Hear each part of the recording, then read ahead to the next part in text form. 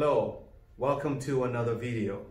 Today I'm going to show you how to solve exponential equations. I already put some examples on the board and I'm going to quickly differentiate between just solving simple exponent problems and having exponential problems. What's the difference between them? I'm going to show you with a simple example. So, if you get a question like this, x squared equals 4, and they want you to find x. Well, it's easy for you to take the square roots of both sides because you what you don't know is the base.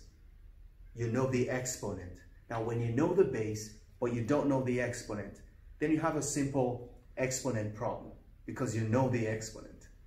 Okay? So, you can apply any kind of rule you want to apply to it. You'll get your answer. Take the square roots of both sides.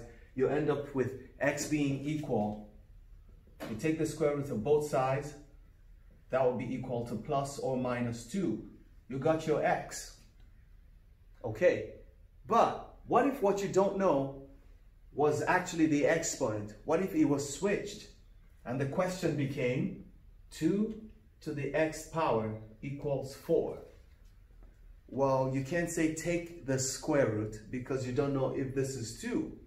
You can't say take the cube root because you don't know if that is 3. So what root can you take? Well, it appears you can't actually do any of those things, well, as far as you want to stay away from uh, logarithms, okay? As long as you just want to solve it without using logarithms, you'll have to learn how to express things in exponent form. So that's what you call an exponential equation. Okay, so that's what you call an exponential equation. And knowing how to solve this, which is very easy also, since you know what to do, 2 to the x will be 4 is the same thing as 2 to the second. And because the two bases are the same, you can easily say that x is equal to 2, okay, which is the same as this problem, okay? Your x was 2 in the first place. However, it could get more complex than that. When it gets more complex, what do you do? Look at these examples. Sometimes the laws of exponents cannot be applied. If you can't apply the laws of exponents, what should you do? That's what I'm going to show you today, and then I um, believe will be good. So I'm going to start with the very, very first example I wrote on the board, which is 3 to the x equals 27. I'm sure you know that this is going to be 3 to the x equals 3 to the third, because 3 times 3 times 3 is going to be 27. And because the bases are the same, you can say x is equal to 3. That's the solution to that. That's very pretty uh, pretty straightforward. Okay, let's move on to the second question, number two. Number two says 16 to the x is equal to 8. So um, this looks a little bit awkward because there is nothing you can do to express 16 to the power of 8 that is just straight. So you want to go back to a base that is common to 16 and 8. Let's try 8. What, can you raise 8 to a power to get 16? 8 to the second power will be 64, not 16. So you can't do that. Um, let's try 4. Can you raise 4 to a power to get 16? Yes. 4 to the second power is 16. So it looks like we can change this. But can we raise 4 to a power to get 8? No.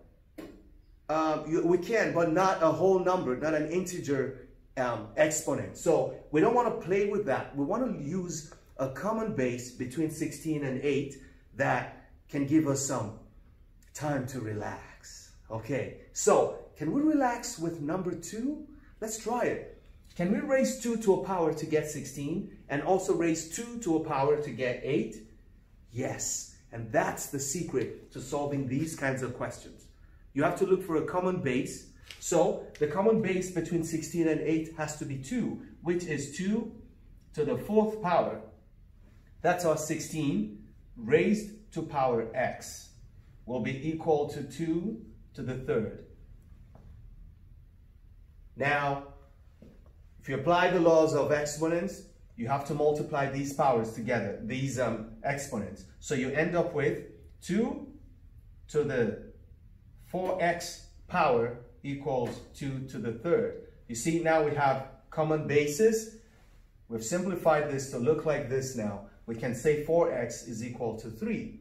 Okay, so if we continue in this process, we can say that 4x is equal to 3 and x is equal to 3 over 4. This is your answer. Okay, so 16 raised to the power of 3 over 4 is equal to 8. You can punch that in your scientific calculator. You're going to get that. Okay, um, that's how that works.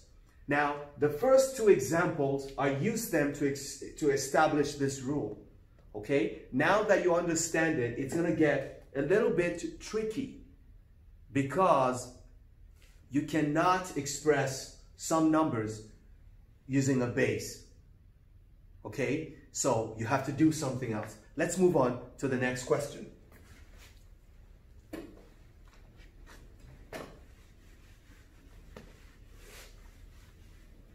So for the third question, question number three, it says 4 to the x equals 20 minus 2 to the x. There's a problem. You cannot apply the laws of exponents to uh, an exponential equation that has more than two terms. You can see this is one term, one term. This is one term, one term. So we were able to apply the laws of exponents to solving it, okay?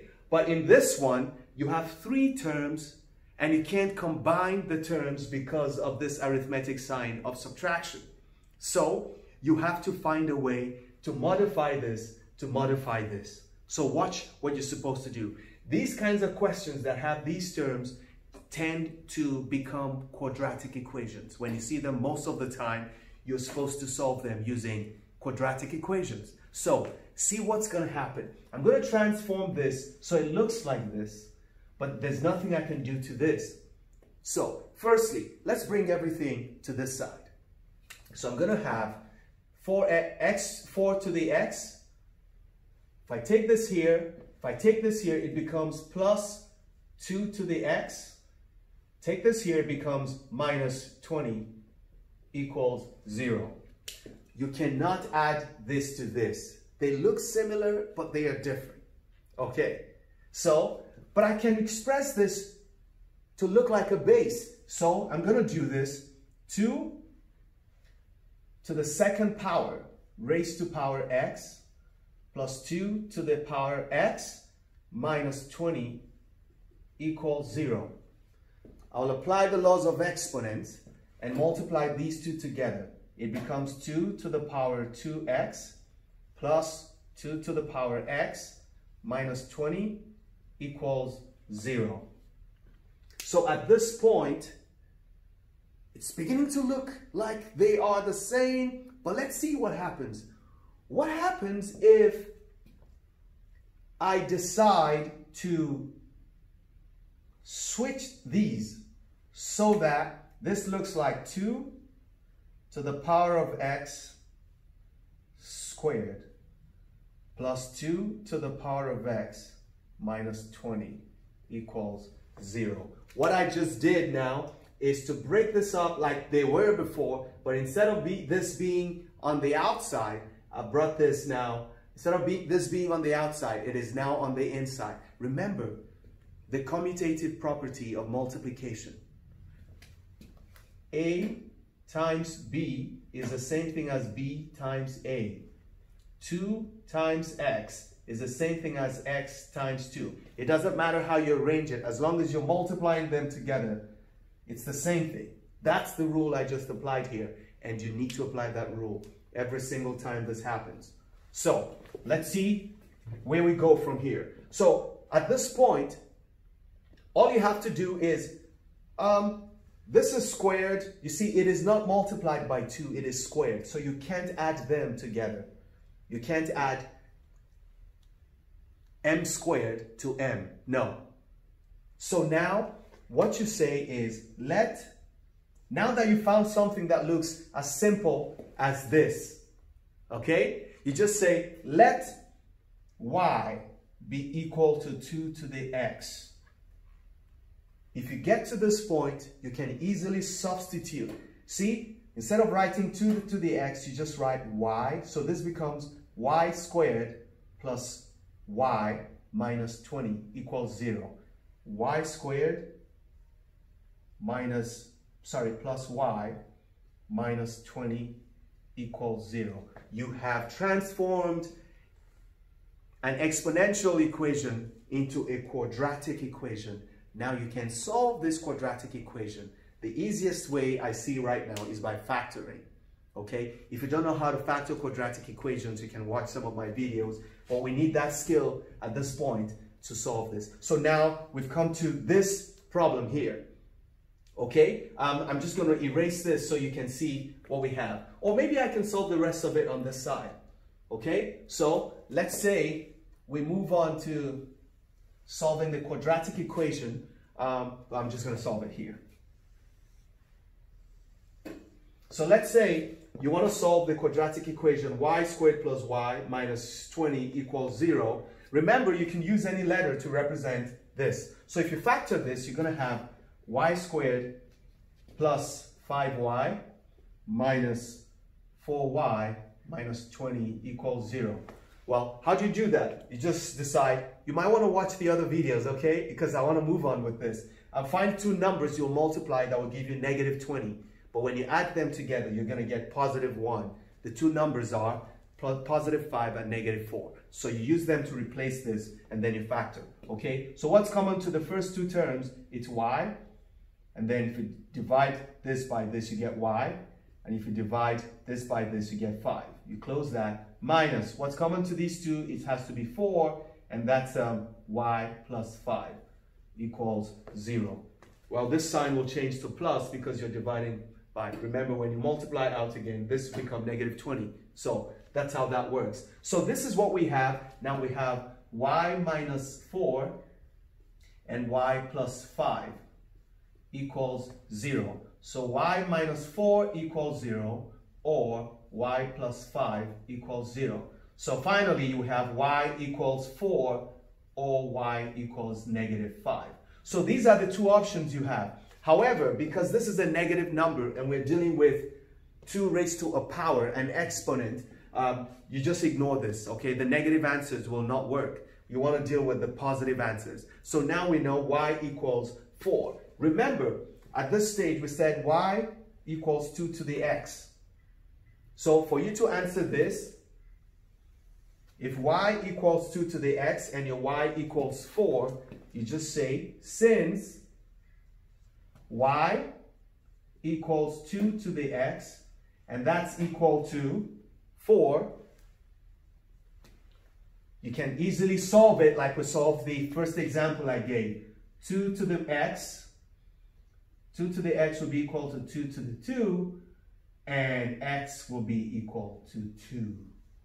Okay, that's how you solve that. Remember, when the question looks awkward, all you have to do is change it into a quadratic equation by doing this y substitution. I hope you got that. Now, let's answer the final question. Okay, I hope you got that. Here comes the final question. Let's quickly solve this and get it out of the way. The first thing you're going to do is to apply the laws that brought this into effect in the first place, which is that when you divide two terms with a common base, you subtract the exponents. You remember that law? The law says x to the power of a divided by x to the power of b equals x to the power of a minus b. You, I'm sure you remember this law. So that's the law we're going to apply here. But instead of going from left to right, we'll be reversing the order in order to solve our problem. So let's do that. So here it's going to be simply 3 to the power of 1 divided by 3 to the power of 2x. That's it. Okay, so be, because we've done this, everything else is easy. This is going to be 24 plus 3 to the power of negative x. And remember, when an exponent is negative, it simply means you are doing repeated division instead of repeated multiplication. So this negative exponent, just as we did here we divided, we're going to be dividing also. So what you have here is a transformation of 1 over 3 to the x. Remember that x to the power of negative 1 is 1 over x.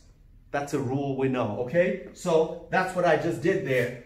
3 to the power of negative x equals 1 over 3 to the power of x, okay? So with this, you can um, transform this and make sure the x is close to the 3. So we rewrite this as 3 over 3 to the x. Now I can put this squared outside. Equals 24 plus 1 over 3 to the x. Okay, now this one can be replaced with a y. So let's do the y substitution. Let y be equal to 3 to the x. Now if you do this, you can change everything here into something that looks like this. 3 over y squared equals 24 plus 1 over y. That's it. With this expression that you have, we can move on and say the LCM of this equation actually is y squared. So in order to clear the fractions, you just multiply each of the terms by the least common multiple, which is y squared. So this is what we're going to do. We're going to multiply, we say y squared times 3 over y squared will be equal to y squared times 24 plus y squared times 1 over y. Okay, with this, this is going to cancel this out. You're left with 3. Okay, this will cancel this out. Now, 24 times y squared will be 24y squared. And y will cancel one of these y's. You have one y left, plus y. So if I rearrange this and make a quadratic equation out of it, what you're going to get will be 24y squared plus y. When this moves over, it becomes minus 3, and that's equal to 0. So what's important now is to factor this quadratic equation. Well, remember, if you don't know how to factor quadratic equations, watch another of my videos, okay? Um, but I'm just gonna go ahead and factor. The correct factors to use here to replace this positive y will be positive 9 and negative 8. Okay, you got that. So that's gonna be 24y squared plus 9y minus 8y minus 3 equals 0. So with this, what is common to these two? Um, I know 3 is common and y is common. So I'm just going to take out 3y. What is left here will be 8y plus 3 minus what's common here is when there's nothing common, you assume it's 1. Okay, just write 1 into 8y plus 3 equals 0. Remember that these two must be the same unless you've made a mistake. Okay, I'm just going to finish this up with a red marker because um, my blue marker is getting faint on me. We shall not be faint. We shall not be weary. Let's go. So this is going to be um, 3y minus 1 and 8y plus 3 equals 0. So you equate this to 0, 3y minus 1 equals 0, or 8y plus 3 equals 0. That leaves you with y being 1 over 3 or y equals negative 3 over 8. Like I said, we don't want to deal with the negative ones because they won't work. What works is the positive number. So now you know your y is 1 over 3. This number you see is 1 over 3. So how do we do the transformation? This is the transformation. If y equals 3 to the x, and that y is 1 over 3, it means 3 to the x equals 1 over 3. 3 to the x equals 3 to the negative 1. That's the rule. That's one third written as an exponent. So what do you think? They have the common base x equals negative 1. Now you know your exponential functions. If you have any questions, just leave it in the comments. Please make sure you like, share, and subscribe to this video. Once again, my name is Newton Okewoye. Don't stop learning, because those who stop learning